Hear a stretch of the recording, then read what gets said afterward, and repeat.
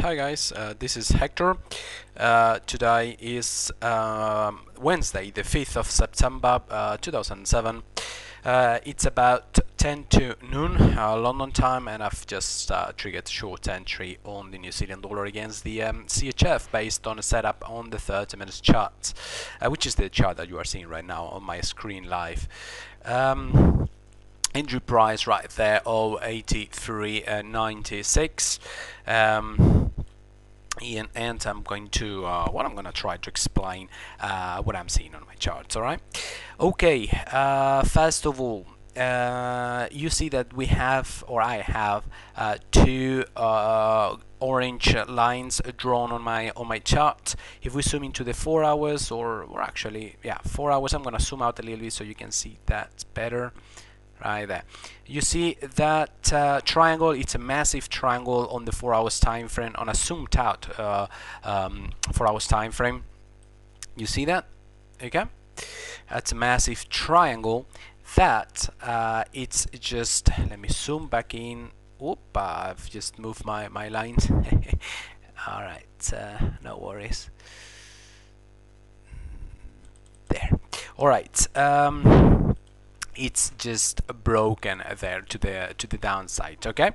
Moreover if we uh, zoom into the uh, so uh, sorry to sum it up on the four hours time frame we have uh, a triangle that's broken to the downside. That's giving us a down a down bias all right uh, for the time being since we have a, a formation a long-term formation that's broken to the downside okay?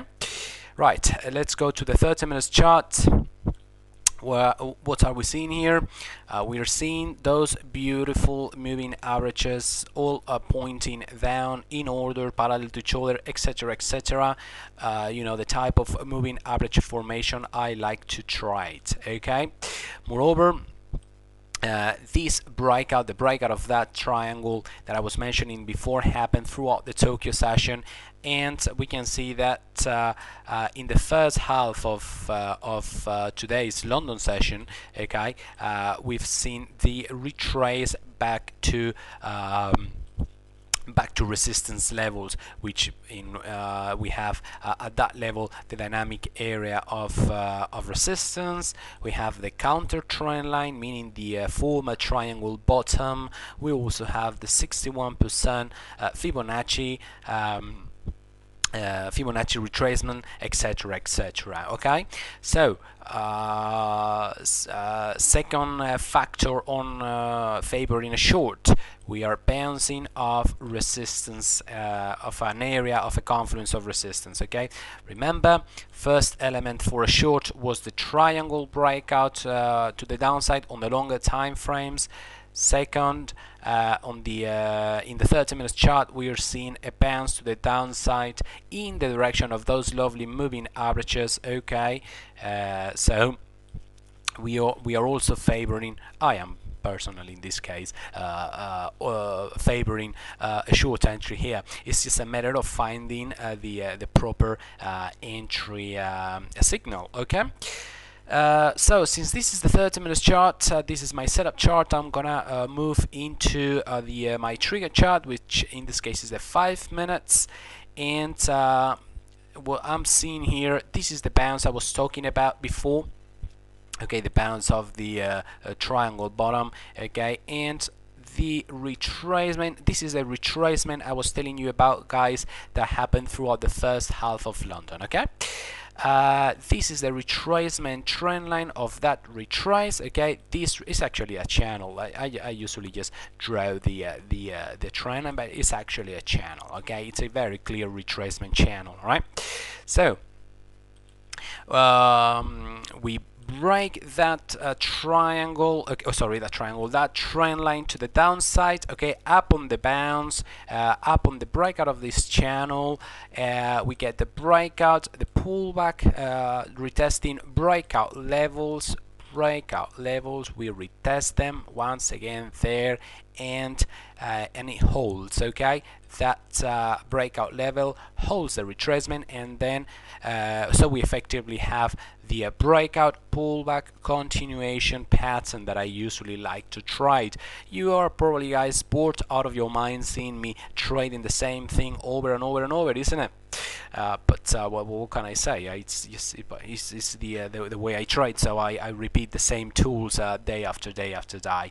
Anyway, so as we just made a new low right there about five uh, about seven minutes ago, actually, I triggered my my short entry here okay right there. Uh, 08396 um, stop loss in theory should be placed up here but that would have been just a 12 pip stop loss as you guys know.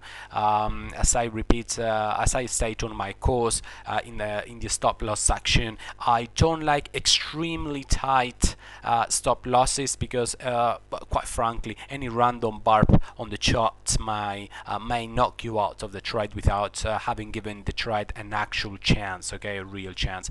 So whereas stop loss should should have been placed there I've decided to give it another another 10 12 pips up here okay um, what about targets? Uh, let's zoom back out into the 30 minutes chart.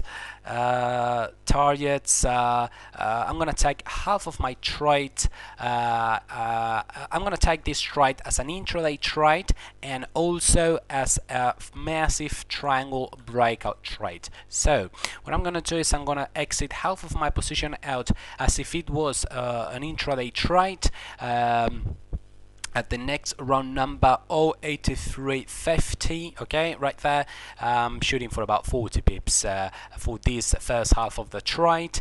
And then what I'm going to do uh, if we go back into a zoomed out zoomed out four hours time frame um, I'm going to uh, let the second half of the trade, uh, uh, well, basically, you know, uh, run to its full potential target, considering this is a triangle breakout. Okay, the way I personally uh, try triangle breakouts, uh, I mean, the way I personally measure the the the target is to grab the widest okay distance uh, within the triangle and then I add it to the breakout point. And it takes me all the way down to 0.7500 so uh, this is effectively uh, like at uh, an 800 uh, pips okay right this is gonna take days okay? Perhaps weeks if it is to uh, to actually give me that much. But I think it's worth a chance okay?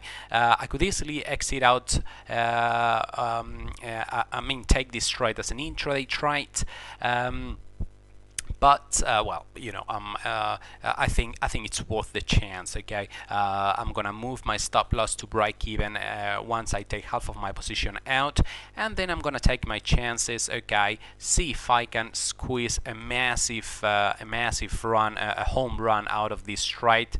And uh, if, if that does happen okay like I said it's gonna take a few weeks but if that, that, if that does happen it's gonna be 800 pips in my pocket. And just the, this trade in itself uh, may pay off uh, for the whole month okay?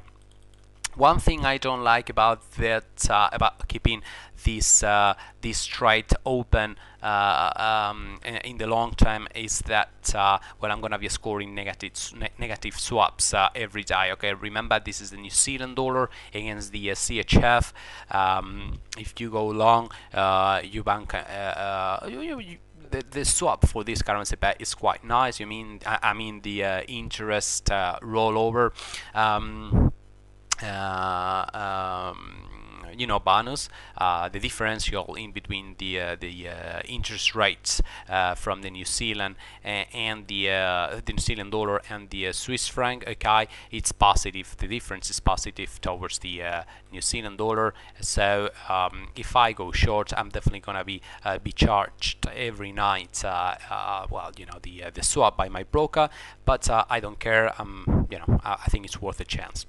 Alright guys I'll keep you updated. Bye Hi guys, this is Hector. A quick update to let you know that I've taken uh, half of my position out as uh, planned. My first target has been met at 0.8352. Um, I'm moving my stop loss down here to here to get a little bit of protection from the uh, from the round number. Uh, but like I say nonetheless my first target has been met at uh, plus 40 pips. Okay I'm gonna let the second half uh, run. Uh, like I say it's gonna be a long-term trade so let's see how it pans out. I'll keep you updated. Alright bye bye